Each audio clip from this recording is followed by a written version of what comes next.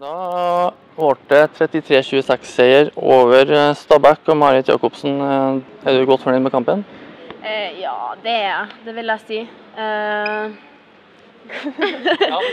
eh, ja, det vil jeg si. Jeg syns vi gjør en eh, god kamp. I hvert fall fremover. Men det er ganske jevnt egentlig hele veien. Vi klarer ikke helt å riste dem av oss før på slutten, når vi setter forsvaret litt og får løpt på dem. Dere har bare en tremålsledelse til pause, men så blir det betraktelig bedre i andre. Eh, Hva som blir sagt i pausen?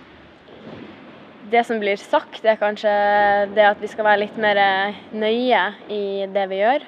Og fortsette å sette fart. Da er det ikke så mange som klarer å holde følge med oss etter hvert. Og jeg syns at vi klarer å svare greit på det. Og så stenger vi selvfølgelig bak. Dere to på kantene dere eh, har bra fart i andre omgang. Altså. Ja, det var artig å springe, og når man får baller, så sier vi ikke nei takk til å springe. Så da gjør vi gjerne det.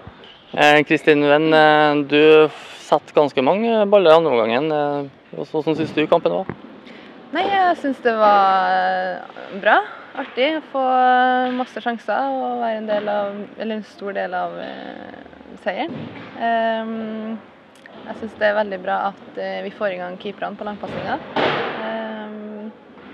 Syns jeg vi står veldig bra i forsvar, så vi får de eh, raske kontringene. Nå blir det en landslagspause, og dere- tre pluss et par andre fra Byåsen skal på rekruttlandslaget. Hvordan blir det?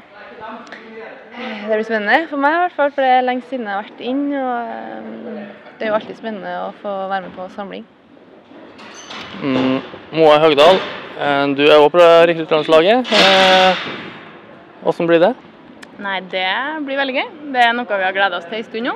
Eh, Så blir det veldig spennende å være sammen med A-laget. Og kanskje få spare litt med dem. Så det, det blir kult. Du ble eh, kraftig skade for et par år siden, eh, halvannet år kanskje. Men så kom du sterkt tilbake med VM for juniorlandslaget. Og nå er du på enda et hakk opp. Hvordan er utsiktene for framtida? Nei, jeg håper at det utvikles eh, sånn som jeg har gjort eh, den siste tida, og at det bare går én vei. Eh, Og da er jo selvfølgelig målet om å komme seg inn på A-landslaget etter hvert, og kanskje få noen kamper der. Så langt fram i tid så er vel det som er målet.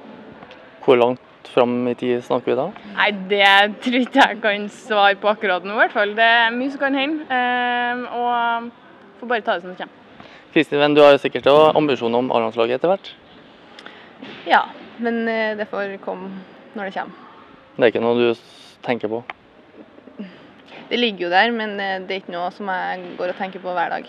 Jeg eh, er opptatt av å gjøre det bra i Byåsen. og mm. Eh, Marit Jacobsen, du har jo vært på A-landslaget. Er det en nedtur å være på rekruttlandslaget igjen? Nei, det vil jeg ikke si. Eh, det gjelder å ta sjansen når man får den, og nå skal vi på samling, og jeg gleder meg masse. Så det er bare å ta sjansen og prøve å vise seg så godt som mulig fram. Så får vi se. Tusen takk, og så ønsker jeg dere lykke til. Tusen takk.